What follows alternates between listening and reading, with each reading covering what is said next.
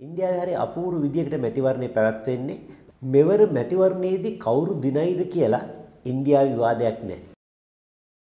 ජාතික ප්‍රජාතන්ත්‍රවාදී සන්ධානය කෙතරම් වැඩි ආසන ගන්නකින් ආණ්ඩුව පිහිටුවයිද මෙවන් දැවැන්ත ජයග්‍රහණයක් මෝදි ලබන්නේ කොහොමද කියන එක ගැන අද මුළු ලෝකෙම කතා කරනවා. නරේන්ද්‍ර මෝදි මෙතරම් ජනප්‍රිය ඇයි කියලා අපි පොඩ්ඩක් හොයලා බලමු. අයිබෝවන් ලෝකයේ වැඩිම ජනගහනයක් ඉන්න රාජ්‍යය වන ඉන්දියාවේ පාර්ලිමේන්තු මැතිවරණය මේ වසරේ පැවැත්වෙනවා. ඇත්තෙන්ම ඉන්දියාවේ මේ මැතිවරණයට ලියාපදිංචි ඡන්දදායකයන් ගණන මිලියන 960කටත් වඩා වැඩි.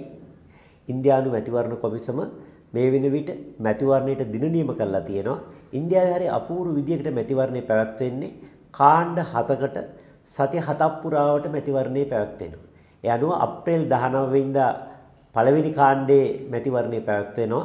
අවසාන කාණ්ඩයේ මැතිවරණය පැවැත්වෙන්නේ ජූනි මාසේ පළවෙනිදා.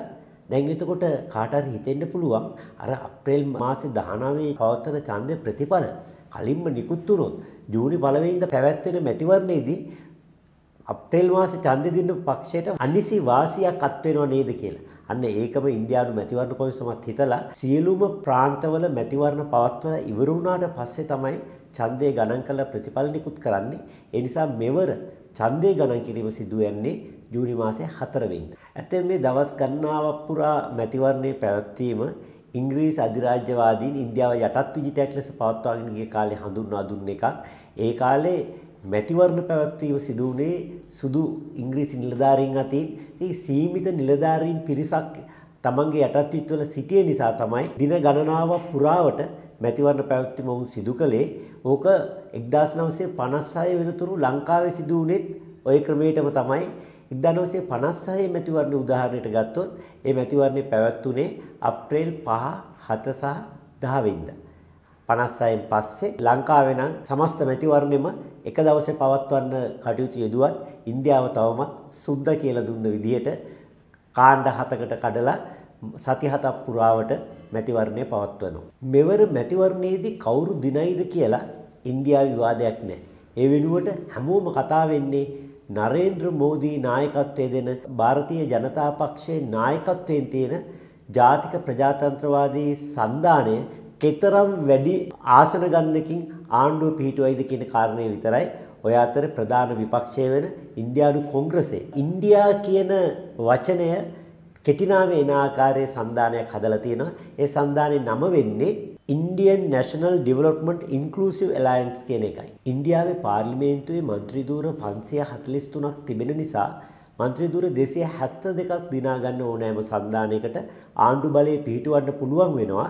පසුගිය පාර්ලිමේන්තු මැතිවරණයේදී ಭಾರತೀಯ ජනතා පක්ෂයේ ප්‍රමුඛ සන්ධානයේට മന്ത്രി ධූර 303ක් හිමි වුණා. හැබැයි කොංග්‍රසයේ ප්‍රමුඛ සන්ධානයට හිමි වුණේ മന്ത്രി ධූර 52ක් පමණයි. දැන් මේ මැතිවරණය ගැන බොහෝ මත විමසුම් පැවැත්වෙනවා.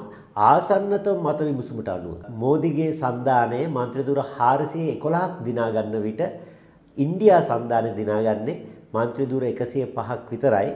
මේක පසුගිය මැතිවරණයේදී දිනාගත්ත 303ට සාපේක්ෂව മന്ത്രി දූර 108ක වැඩිවීමක් පෙන්눔 කරනවා. ඒ වගේම අවශ්‍ය කරන බහුතරයට වඩා മന്ത്രി දූර 139ක බහුතර සංඛ්‍යාවක් ආණ්ඩුවට හිමි වෙන බව පෙන්눔 කරනවා. ඇත්තෙන්ම ඉන්දියාවේ ශක්තිමත් මධ්‍යම ආණ්ඩුවක් බිහිවීම ලංකාවට සුබයි.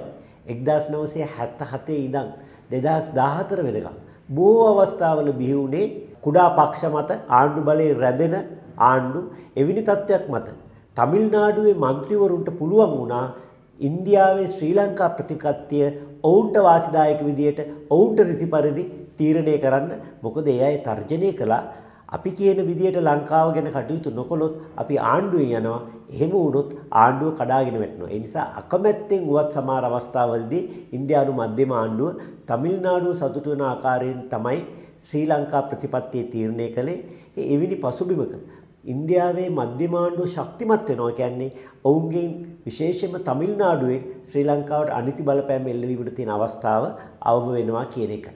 දැවැන්ත භූමි කලාපයක විවිධ භාෂා කතා කරන විවිධ පෙනුමන් තියෙන ස්වාධීන රාජ්‍යයන් ලෙස වසර දහස් ගණනක් පැවතුණු මේ මහා ಭಾರතයේ එකට ගැට ගහලා මෙවන් දැවැන්ත ජයග්‍රහණයක් මෝදි ලබන්නේ කොහොමද කියන එක ගැන අද මුළු ලෝකෙම කතා කරනවා. ඇත්තෙන්ම බොහෝ දේශපාලන විචාරකයන් පවසන්නේ මේ මොහොතේ ලෝකයේ සිටින ජනප්‍රියතම දේශපාලකයා නරේන්ද්‍ර මෝදි කියලා. ඇත්තටම නරේන්ද්‍ර මෝදි මෙතරම් ජනප්‍රිය ඇයි කියලා අපි පොඩ්ඩක් හොයලා බලමු. මෝදිගේ ජනප්‍රියතාවයට ප්‍රධානම හේතුව තමයි ඉන්දියාව ලෝක බලවතෙක් බවට පත් කර ගැනීම. ඇත්තෙන්ම එහිදී ආර්ථික සමෘද්ධිය අතිශයම වැදගත් වුණා. දැන් බලන්න පසුගිය වසරේ මුළු ලෝකෙම ආර්ථිකයන් හැකිලෙද්දී ඉන්දියාව 7.5ක දැවැන්ත ආර්ථික වර්ධනයක් වාර්තා කළා. පසුගිය වසරවල අකණ්ඩව ඉහළම ආර්ථික වර්ධනය වාර්තා කරන්න සමත් වුණේ ඉන්දියාව. එහි ප්‍රතිඵලයක් ලෙස මේ වන විට ඉන්දියාව ලෝකයේ පස්වන විශාලතම ආර්ථිකය බවට පත් වෙලා තිබෙනවා. ඒ වගේම 2030 වෙන විට ඉන්දියානු ආර්ථිකය ලොව තුන්වන ප්‍රධානතම ආර්ථිකය බවට පත් වේවි කියලා ආර්ථික විද්‍යාඥයෝ ගණන් හදලා බලලා තිබෙනවා. ඉන්දියාව එහෙම ලෝක බලවතෙක් වීම ගැන ඉන්දියානුව හරිම ආඩම්බරයෙන් ඉන්නේ. ඒ නිසාම නරේන්ද්‍ර මෝදිට කෘතගුණ සලකනවා.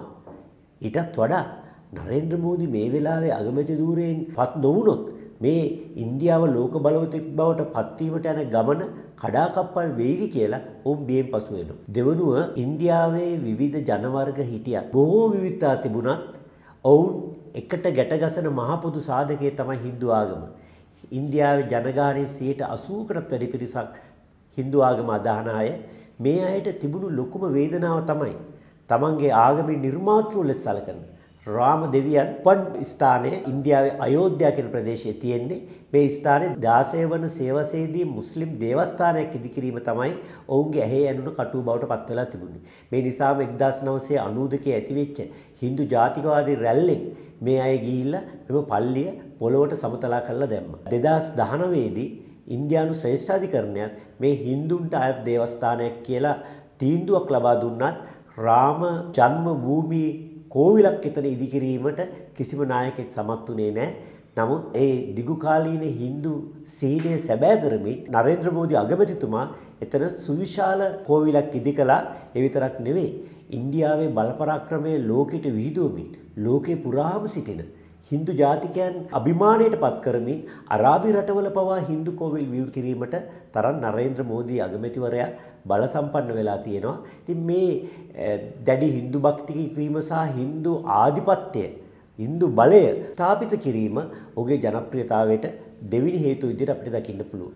සමහරු නම් කියන්නේ මේ සියල්ලටම වඩා නරේන්ද්‍ර මෝදිගේ ජනප්‍රියතාවයට හේතුව ඔහු ජනතාවට සමීප වෙන්න මාධ්‍ය භාවිතා කරන ආකාරය. ඇත්තෙම ඔහුගේ ට්වීට නැත්තම් X ගිණුමේ මිලියන 90ක අනුගාමිකයන් සිටීමම ඒකට හොඳ නිදසුනක්. ඔහු හරිම අපූර්වට ජනතාව සමග ගැට ගැසෙන්න සමාජ මාධ්‍ය භාවිතා කරනවා. ඒ විතරක් නෙවෙයි සෑම මාසයකට වරක්ම පැය භාගයක් ගුවන් විදුලි වැඩසටහනක් මෙහෙවෙමින් ජනතාවගේ හදවතටම කතා කරනවා.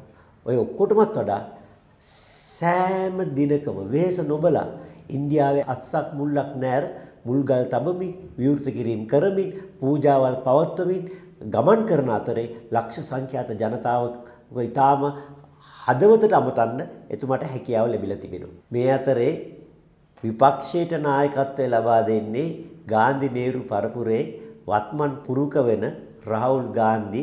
එතම රාහුල් ගාන්ධිගේ අසුභවාදී ප්‍රතිරූපේ උට ඉන්දියානු ජනතාවගේ තියෙන ප්‍රතික්ෂේප වීමත් මෝදි ජනප්‍රිය වීමට බලපාලා තිබෙනවා. මේ සියල්ල එකට කැටි වෙලා අපිට කියන කතාව තමයි නරේන්ද්‍ර මෝදි මෙවර ඉන්දියානු මැතිවරණයේදී විශිෂ්ට ජයග්‍රහණයක් වාර්තා කරනවා විතරක් නෙවෙයි ඉන්දියානු දේශපාලනයේ මෝදි ලකුණ තව සෑහෙන කාලයකට නොමකී පවතිවි කියන එකයි. ඉන්දියාවේ මැතිවරණය විතරක් නෙවෙයි රුසියාවේ මැතිවරණයේ ජයග්‍රහණය කරේ ජාතිකවාදී නායකයෙක් වල වැඩිමිර් පුටින්. ඒ වගේම ඇමරිකානු ජාතිකවාදී ඔසවා තබන ඩොනල්ඩ් ට්‍රම්ප් ඇමරිකාවේ ජනාධිපතිවරණය ජයග්‍රහණය කිරීමේ පෙරනිමිති පහළ කරලා තියෙනවා. අද ලෝකේ පුරාම හමන්නේ ජාතිකවාදී රැල්ලක්. මාක්ස්වාදී නවලිබරල්වාදී රැලි මිය යමින් තිබේදී මුළු ලෝකේ පුරාම ජාතිකවාදයේ සිසාරය හමන්නේ. රටක් ගොඩගන්න ජාතිකවාදයේ තරම් සුදුසු බලවත් මෙවලමක් තවත් නැහැ කියන එක ඉතිහාසයේ පුරාවටම ඔප්පු වෙලා තිබෙන නිසා. අවාසනාවට ශ්‍රී ලංකාව පමණක් මේ මොහොතේ ඒ ජාතිකවාදයේ ප්‍රතික්ෂේප කරමින් සිටීමත් ඇත්තෙන්ම රටේ දකින්න පුළුවන් අසුබ ලකුණක් විදියටයි අපිට නම් පේන්නේ.